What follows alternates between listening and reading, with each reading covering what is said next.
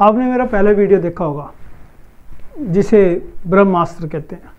ब्रह्मास्त्र के अंदर आपने देखा कि कैसे insurance what is the purpose of insurance हमें समझ आ गई, क्या करना है इंश्योरेंस का, क्या मतलब होता है, क्या महत्व होता है। और जब हमने खुद समझ लिया ना, तभी हमने दूसरों को समझाना शुरू किया। जब तक हमें नहीं पता, हम दूसरों को क्या समझाएँगे?